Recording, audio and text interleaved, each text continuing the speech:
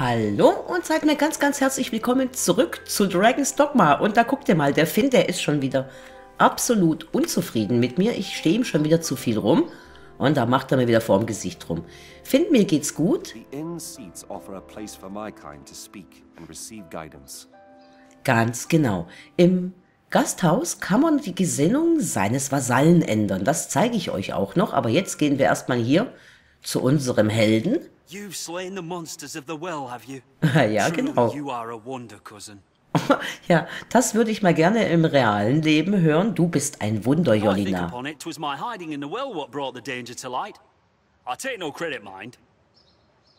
Ja, okay, Paul, ich weiß, irgendwie musst du ja deine Feigheit noch rechtfertigen, es ist mir schon klar. Aber ja, wenn du meinst. Ach, du hast den erst geöffnet, der war zu und du bist geflüchtet und hast das aufgemacht und dann hast du die Monster entdeckt. Naja, gut, okay, Paul, ich hab dich gerettet, keine Sorge.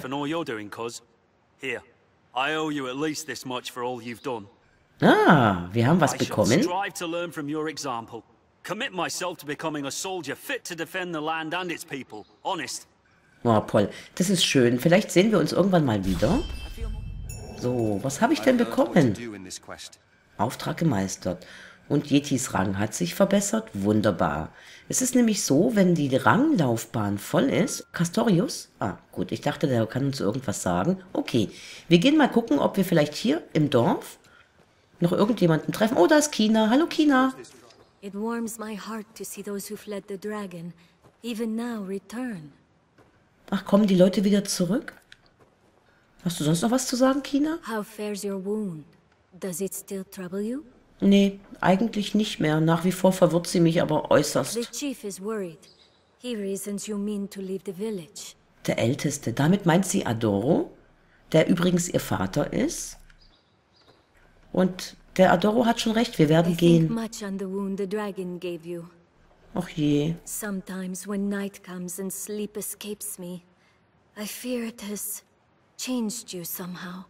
An der Stelle muss man sagen, dass China natürlich nicht Unrecht hat. Selbstverständlich hat die Wunde und der Verlust unseres Herzens dazu geführt, dass wir uns verändert haben, weil einfach jetzt die Dynamik der Ewigkeit und der, ja, ich weiß gar nicht, des Rings der Ewigkeit jetzt plötzlich Page mit sich reißt. I know it is folly, but I cannot help myself. Nein, das klingt gar nicht töricht, Kina. If ever you do leave the village,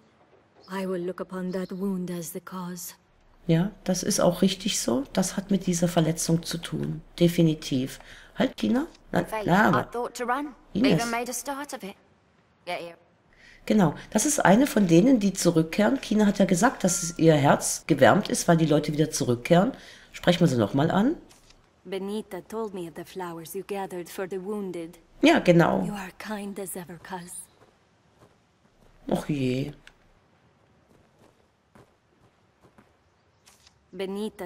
Ja, okay. Oh, wir könnten ihr was überreichen. Haben wir irgendwas, was wir ihr schenken können? Mit dem Schenken ist es nämlich so, dass wir... Ähm, tja, ich weiß gar nicht, dass wir uns damit Freunde machen können. Jetzt geben wir ihr mal Hartknollensaft. Ich habe keine Ahnung, ob sie es freut, aber das ist zumindest nichts Schlimmes. Es war mir ein Vergnügen. Genau. Also, man kann den Leuten was schenken, das sollte man auch immer mal wieder machen. Ines, mit der haben wir einen Auftrag, die müssen wir irgendwo hin begleiten. Da erinnere ich mich noch dran. Ah ja.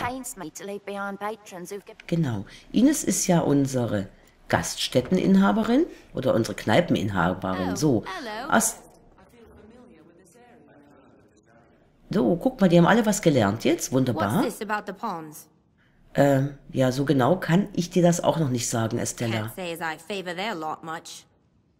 Ja, das mag ja sein, aber echt, die sind wesentlich besser als ihr Ruf. Ja, gut. Ich will mal gucken. Ah, guck mal. Wir kaufen mal zwei Laternen und wir kaufen mal zwei Spitzhacken. Und dann geben wir unseren anderen Vasallen mal Laternen, die wir eventuell noch brauchen. So, übergeben. Castorius, bitte einmal. Und Finn, du auch eine. Und ihr kriegt natürlich auch alle Öl von mir. Komm, du nimmst zwei Öls, dann können die nämlich, die werden danach, wenn das Öl zu Ende ist, werden die selbstständig nachfüllen. Oh, Yeti, komm her, du kriegst auch noch zwei von mir. Okay, so. Dann gehen wir jetzt in das Gasthaus. Wen haben wir denn hier? Wer bist du? Hallo? Can't go near the water for fear of monsters. Ja, ja. Du meinst die Laken, oder? Warten. Der meint jetzt bestimmt die Laken. Best you watch yourself. Ja. Ihr seht also, überall, all überall werden wir vor Wasser gewarnt. Und da sind Benita und Iola. Die beiden mag ich total gerne. Wir werden mal mit ihnen sprechen. Oh, look, pawns. the real thing? Will they do whatever you please once you gives the word? Naja, leider nicht oder nicht immer und nicht wirklich. Wäre schön, wenn sie das täten. Na, komm, noch mehr zu sagen? Some don't care for pawns, but I don't see how they're so bad. Danke, Benita. And drown me if I wouldn't take a few pawns of my own. I'd cooking and cleaning, I would. Ja, Benita ist ganz offensichtlich reichlich praktisch veranlagt. Die denkt gleich dran, dass die Vasallen ja für sie kochen könnten. Noch mehr zu sagen, Benita? Yeah, some of the more excitable folks claim pawns for an evil sort. Can't be trusted and all that. Das stimmt nicht. But no pawn's never done me ill. Whereas I've had plenty of humans what stabbed me in the back as soon as I turned it. Da hat sie nicht ganz unrecht. Okay. Dann ist sie fertig. Hast du noch was zu sagen, Inola? Hm. Up to your old mischief, Minnow. Ja. If you've time to gad about, make yourself useful. Ihr seht's vielleicht, ich muss es an der Stelle mal sagen, das ist nicht lippensynchron. Ähm, nicht lippensynchron. Synchroni synchronisiert. Also, ne, wenn ihr das im Let's Play jetzt so seht, dass der, die Lippenbewegungen nicht zum Text passen, dann ist das schon in dem Spiel selber so. Ja, und Ilona, Iola kennt uns natürlich schon sehr, sehr lange. Fischlein, das finde ich irgendwie so nett. Mhm. Und sie sagt, wir sollen uns nützlich machen. Ja, der Drache. Iola ist ja schon ein bisschen älter, das ist ja nicht zu übersehen. Und sie hat ja schon bei unserer ersten Begegnung gesagt, dass der Herzog, den wir übrigens noch kennenlernen wollen, auch ein Drachentöter ist. Also auch der ist offensichtlich ein Erweckter, also einer, dem man das Herz gestohlen hat. Und der hat sich schon gegen den Drachen gestellt. Und das muss Iola, die etwa gleich alt ist wie der Herzog, damals miterlebt haben. The dragon always comes around, sure as the seasons. Ja, der Drachen taucht immer wieder auf. Okay. So, ich denke, jetzt haben wir hier mit allen erstmal gesprochen. Wir werden mal gucken, ob wir Adoro finden. Der wohnt ja irgendwo da oben. Ja, Yeti, genau, die Ware sieht frisch aus, das ist so. Da hast du recht, wir kaufen trotzdem nichts davon ein. Wenn wir mal gucken, Adoro, wo bist du? Man kann hier auch überall rumturnen und noch andere Sachen finden. Werkbänke und weiß der Teufel was. Mal gucken. Bist du da, Adoro? Ja. Nee, er ist... Doch, da ist er doch. Dann werden wir mal mit ihm reden. Komm her, Adoro. First the dragon, then the pawns. Ja. The old stories are true. No man can escape once the cycle starts. So ist es. The dragon arises and pawns soon follow, with a hero to lead them on a campaign of glory. Und dieser Held sind, das könnt ihr euch ja denken, natürlich wir. Die Geschichte kommt nach und nach in Fahrt.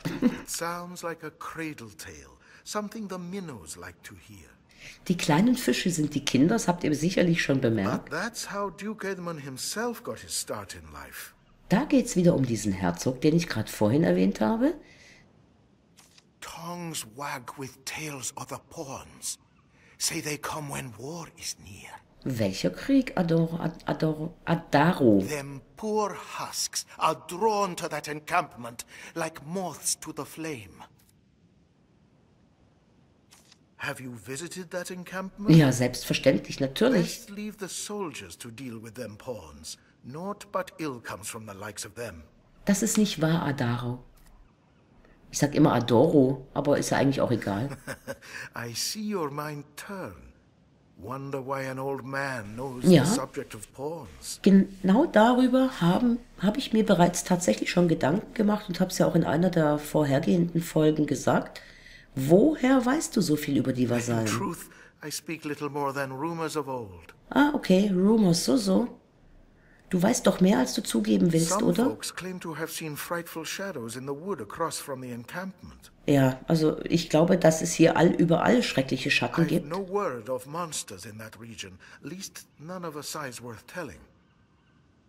Mir ist nicht bekannt, dass es Ungeheuer in diesem Gebiet gibt. Ja, direkt um Casades herum auch eher nicht, aber Ungeheuer, ihr Lieben, die werden wir noch kennenlernen. Und ich freue mich drauf. Yet, it's enough to set my mind to worry.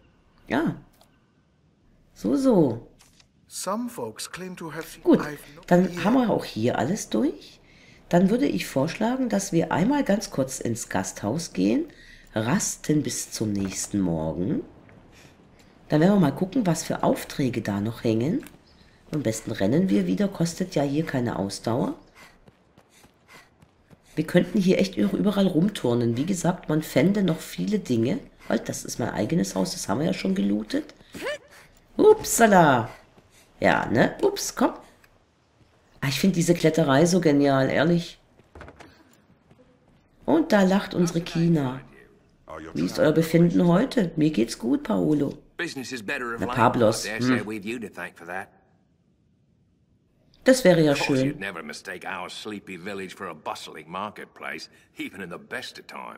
Das macht nichts, wir werden schon noch bessere Händler finden.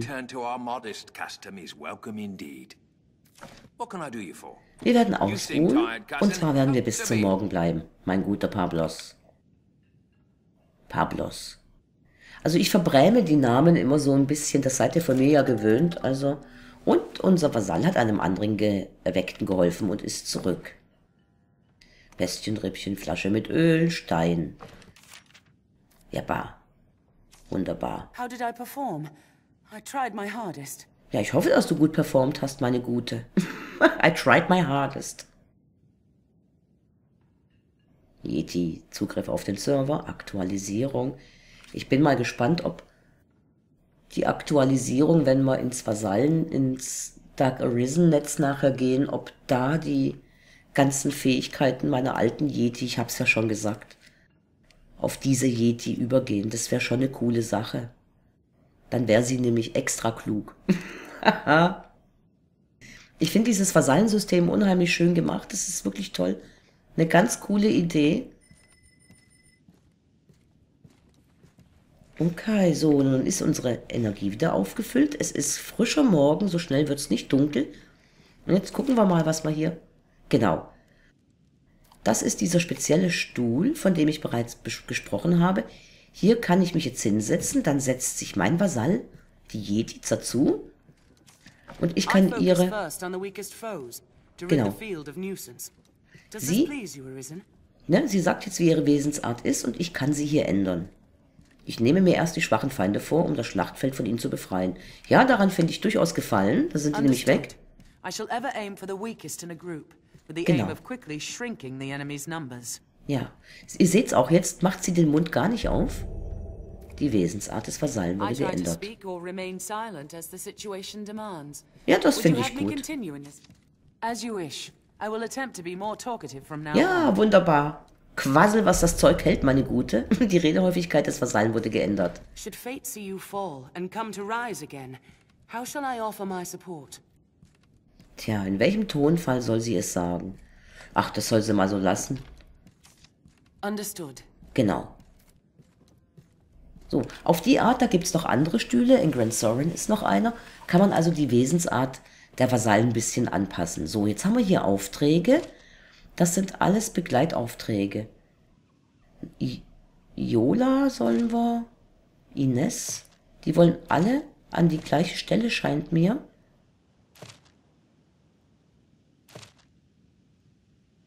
Naja, dann. Wenn die da alle hinwollen. Ah, okay. Reisebegleiter. Wen begleiten wir denn? Gut, okay. Dann begleiten wir dich dahin. Das ist in der Nähe des Lagers. Wir gucken es uns kurz auf der Karte an. Umgebungskarte. Ach, sollte ich vielleicht erstmal den, den Auftrag. Komm her. Abschiedsgruß. Auftrag bestätigen. Genau. Acht Spinnen. So, dann machen wir das mal. Gucken die Karte an. Ah Gott. Umgebungskarte. Das ist wirklich ein Rumgeklicke. Ihr seht, hier ist unser Lager. Das Vasallenlager und hier will der gute Mann hin. Und genau da bringen wir ihn jetzt hin. Und dann werden wir mal bei mit Mercedes nochmal sprechen und werden ihr diesmal sagen, dass wir ruhen wollen. Und dann nimmt die Geschichte so langsam richtig an Fahrt auf. Also all das, was wir momentan gemacht haben, ist ja eher so ein Tutorial. Und mit dem, der Annahme diesen Auftrages wird's dann, ja, da kriegt's dann Fahrt. Und dann werden auch heftigere Kämpfe kommen. Okay, Castorius, komm, wir rennen ein bisschen. Ja, solange es geht, rennen wir. Überlasst es mir, Herrin. Was denn, Yeti? Ich weiß nicht, wovon sie spricht. Unserem Schützling darf nichts geschehen. Ich finde das so nett, wie die besorgt sind um mich, die Vasallen. Schon ein nettes Völkchen. Ich weiß gar nicht, warum die einen so schlechten Ruf haben. Genau, immer einen kühlen Kopf bewahren. Irgendwann, wenn wir so viel Ausdauer haben, dass wir tatsächlich zwischen dem Lager und Casades rennen können, den gesamten Weg, im Augenblick ist das noch nicht so weit. Wir gehen durchs Lager. Das ist der kürzere Weg. Ja, da hast du recht, das sehe ich auch so. Der Herzog sollte ein bisschen was tun, aber ihr werdet schon sehen, was es mit diesem Herzog auf sich hat. Hm, ja, also, dass der sich nicht so wirklich kümmert, ist jetzt nicht weiter un un ungewöhnlich. Nein, wir gehen nicht zu Kessedis. Ach, Yeti. Wir bringen unseren Gast an den Ort, an den er will. Fahrende Händler führen bisweilen besonders seltene Waren. Ja, wir sind bald da, das stimmt. Das ist jetzt irgendwo da hinten, glaube ich. Ne? Wir laufen mal auf das rote Questzeichen zu. Überlasst es mir, Yeti. Wovon sprichst du? Ist doch nicht zu glauben. ich hätte vielleicht die Redehäufigkeit nicht ändern sollen. Wenn da eine Menge Unsinn bei rauskommt. Aber okay. Da ist des Streiters Scheidestadt. Bärenfrucht. Bärenfrucht, ja. Da Müssen wir gucken.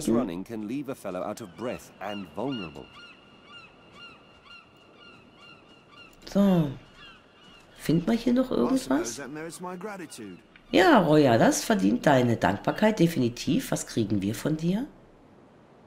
Schon auch eine schöne Aussicht. Also es ist ein schönes Fleckchen Erde. Da drüben seht ihr eine Ruine. Geradeaus. Die werden wir auch noch besuchen und einen würzigen Pilztee. Und wir steigen am Anfang relativ schnell auf, das seht ihr. So, gibt es sonst noch irgendwas zu finden hier? Speichervorgang beendet. Sonnenglanz. Okay, Pilztee. Super. Pilztee ist eine feine Sache. Ich sag euch auch warum. Pilztee ist gut für die Ausdauer. Bei den, ich weiß gar nicht, ob ich schon gesagt habe, bei diesen Zaubertränken oder Verstärkungstränken gibt es dann auch Tränke, die nur für einen gelten oder aber für die ganze Gruppe. Natürlich sind die, die für die ganze Gruppe gelten, die sind immer besonders toll und die kann man auch selber machen. Ich zeige es euch auch gleich. Weil ich will mal gucken, ob wir jetzt ein bisschen Zaubertränke machen können. Das heißt, bevor wir mit Mercedes sprechen, werden wir mal ein bisschen was einlagern? Nein, Finn, ich will nicht zurück nach Cassades, sondern, ja, Verwaltung des Lagers. Kombinieren. So.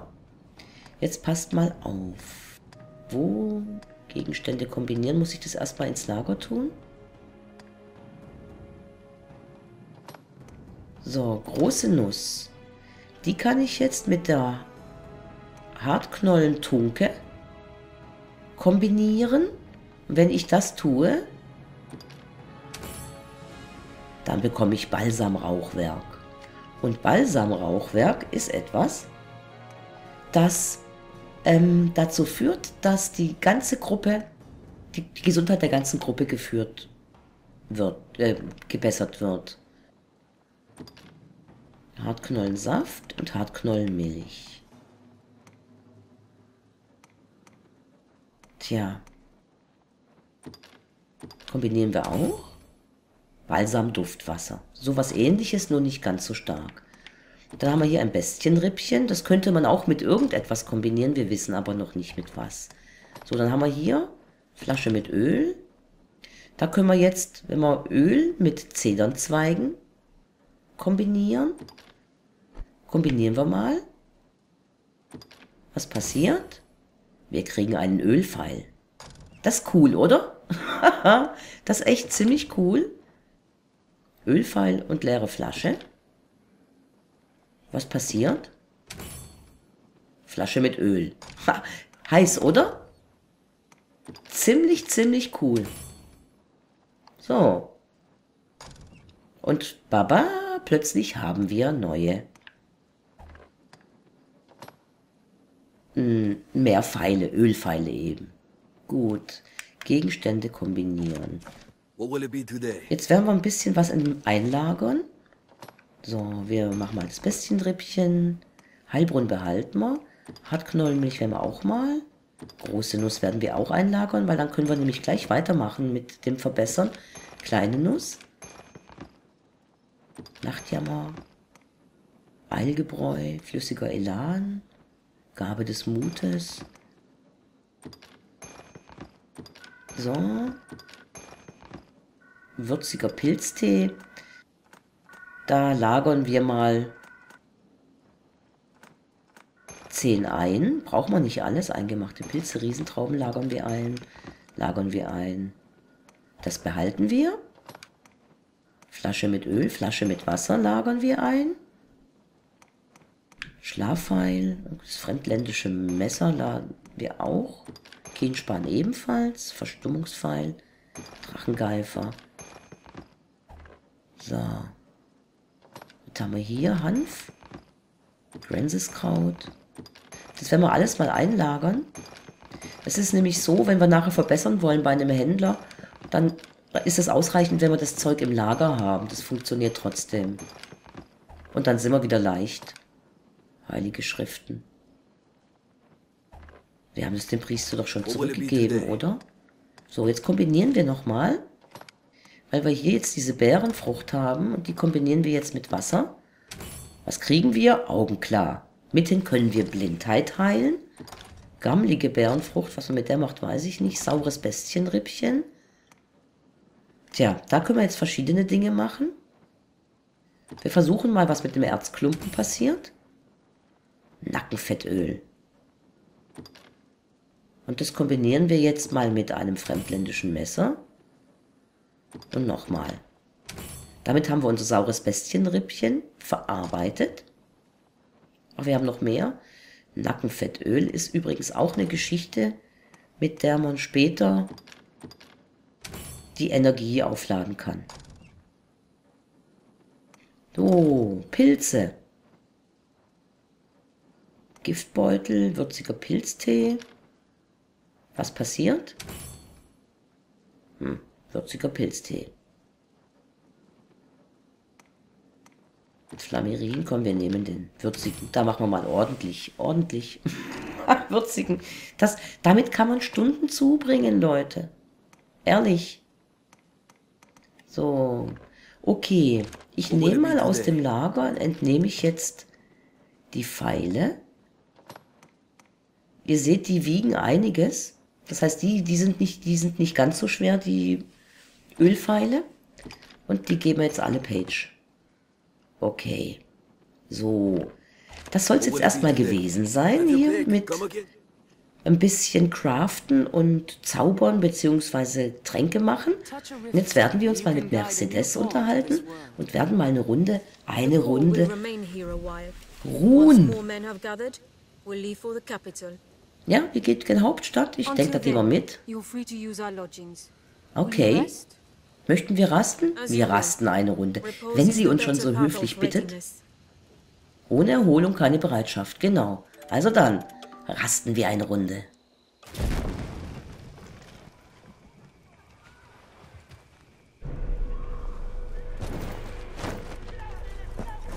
Oh, was ist?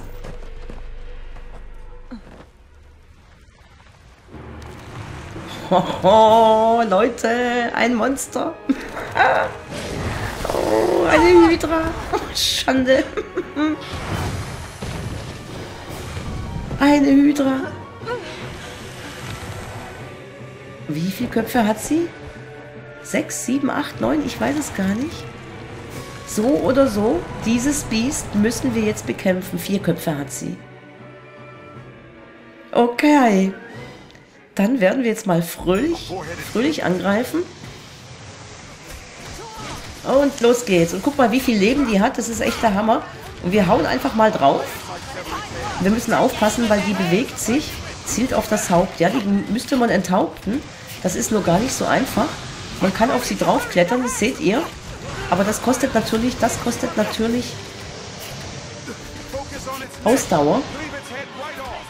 Und wir sind noch nicht so stark, dass wir da ordentlich Schaden machen und auch so uns gut festhalten können.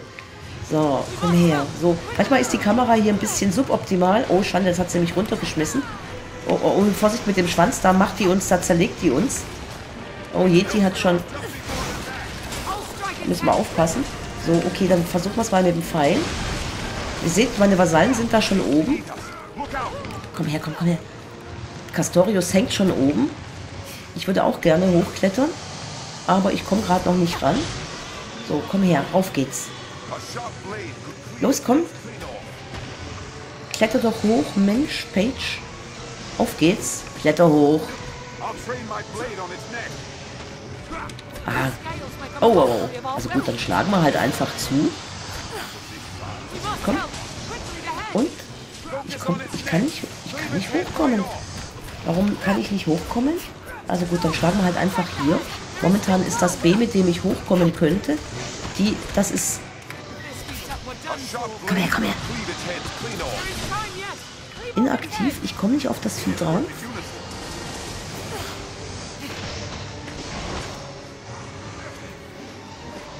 So, komm her, komm. Wow! Yeti so ein bisschen Feuerzauber wäre keine schlechte Idee. Dann mal die Triade. Dann machen wir mit, glaube ich, mehr Schaden. Da siehst du. Die hat auch schon irgendeinen Schwächungszustand hier. Aber Triade, wie gesagt, kostet Energie. Komm her, komm. Wow.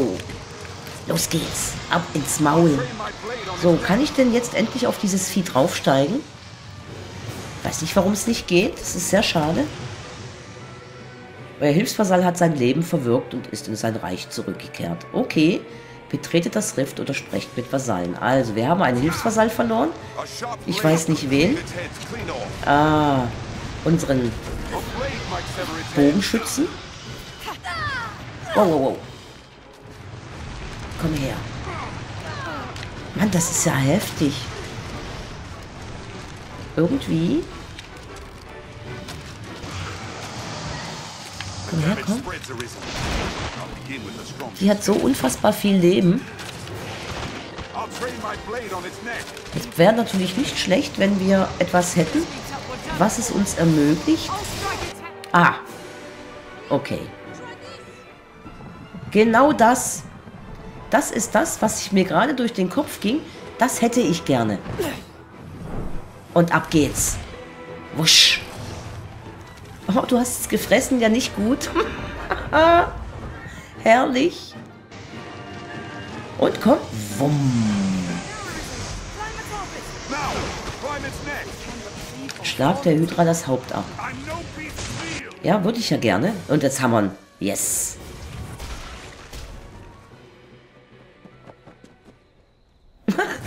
ah, Schande. Die hat so einen Schlafzimmerblick, die Page. Und wieder dieses merkwürdige Zeichen. Erinnert ihr euch? Der Zyklop hatte das auch auf der Stirn. Ja? Oh, damned! This your handiwork? For truth? Oh, what did the lack of an idol doing here anyway? Ancient tales of the Arisen are well and good, friend. But make a gift of these heads to the Duke. And you might earn yourself a real title. Ein Titel. reason. I see better now from whence the legends arose. Good judgment, swift footwork. Impressive, truly. Danke, danke. In any case, the Duke will want to know of this attack. I'd hoped to gather a larger force before leaving for the capital. Tja. But the Hydra's head and the Arisen who claimed it make up the difference amply. I cannot say what the past may hold. You'll need... It will be slow going with a cart. I dare say you'll have no trouble catching up. Es ist eigentlich eine gute Idee. Sie schlägt uns quasi vor, dass wir die Gunst des Herzogs erlangen, indem wir dieses Hydra-Haupt in die Hauptstadt bringen. Und sie will mit uns dann über den Pass. Und das werden wir auch machen, aber noch nicht jetzt. Weil es gibt noch eine Geschichte rund um China, die wir erledigen müssen. Das heißt, wir sagen jetzt nicht. What? You have some business here yet? Ja, ich habe noch was zu tun. Du wirst es nicht Time glauben. is scarce. A rotten head makes for a poor trophy. Ja, dem kann ich jetzt natürlich nicht widersprechen. Okay, ihr Lieben, das soll es für heute gewesen sein. In der nächsten Folge werden wir uns einen neuen, ja, werden einen neuen Vasallen holen und wir werden ein bisschen skillen und dann werden wir uns um die China-Geschichte die sich gleich entdecken wird, kümmern. Jetzt aber bedanke ich mich erstmal ganz, ganz herzlich fürs Zuschauen, wünsche einen schönen Tag, einen schönen Abend und ein schönes Wochenende. Bis demnächst.